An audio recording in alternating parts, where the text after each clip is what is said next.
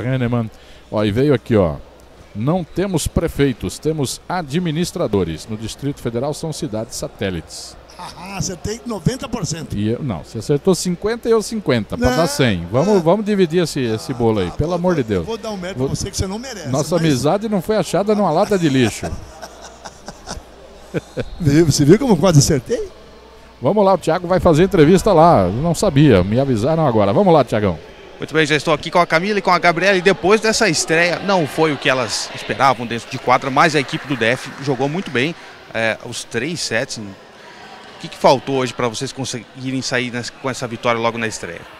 Faltou um pouquinho mais de maturidade, em alguns momentos a gente foi muito bem, em outros a gente baixou demais e é trabalhar em cima disso, né? Ter mais cabeça na hora do jogo e nos momentos que estiver apertado, saber trabalhar a bola.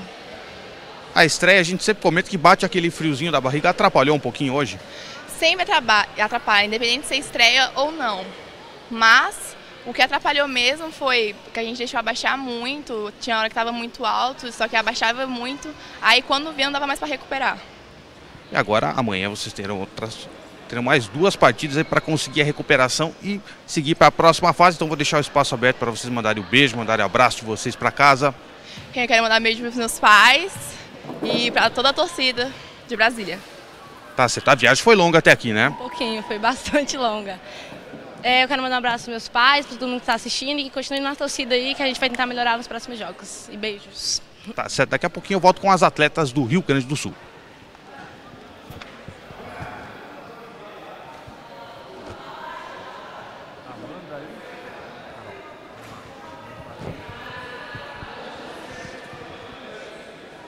Muito bem, já estou aqui com a Amanda e com a Carol do Rio Grande do Sul, depois dessa vitória importantíssima que coloca a equipe do Rio Grande na briga aí por uma vaga na próxima fase. Estreia sempre difícil, estava falando com as atletas do, do Distrito Federal que bate aquele friozinho na barriga, mas vocês sentiram um pouquinho no começo do jogo, né? Exatamente. Nós sentimos um pouquinho no, no- no- início do set, mas depois, como nosso time está bem focado, conseguimos abrir o set e ganhar de 3 0. Amanda, é partida difícil, né? É, então, estreia sempre é difícil, né? Nunca, a gente nunca espera jogo fácil aqui. Eu acho que o time começou muito nervoso.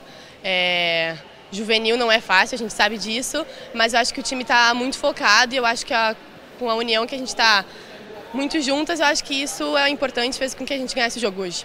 As parciais foram todas equilibradas ali no começo dos sets, né?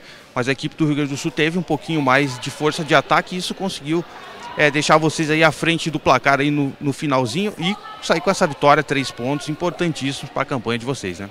É, então, a gente tem um potencial de ataque muito bom, né, com gurias com um potencial de ataque muito forte.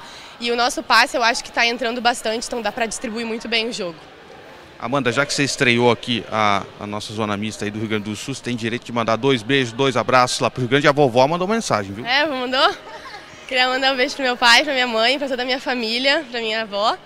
E queria mandar um beijo pras gurias lá de São, ah, de São Paulo também e um beijo pro Felipe que tá lá no Rio me assistindo.